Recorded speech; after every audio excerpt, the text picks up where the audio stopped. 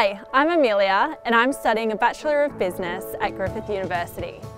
Griffith Business School offers a wide range of student experiences and opportunities. Let's catch up with some students to find out what's on offer at Open Day 2018. I would highly recommend the Student Leadership Program because it really complements your degree, the value that you'll gain from enhancing your leadership skills, but also surrounding yourself with like-minded people. They're there to encourage you and to support you on whatever it is that you're doing. And you get to build that network, not just from the people that you're meeting in university, but then also people from outside of university in the industry that you want to work in. At Griffith Business School, we have access to Queensland's largest student managed investment fund right at our fingertips.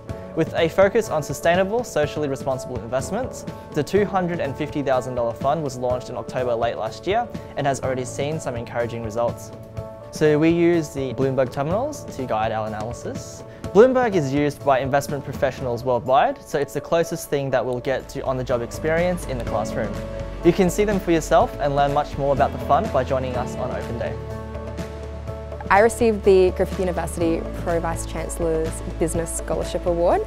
The scholarship has most definitely helped uh, lift some of that financial burden that comes with studying at university, whether you know textbooks or even to cover fuel or living expenses.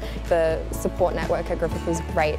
Um, people kind of sell themselves too short and think that, oh no, I can't apply for this, I may not be uh, good enough but scholarships are more accessible than people realise. So it's really worth taking the opportunity since it's there and on offer.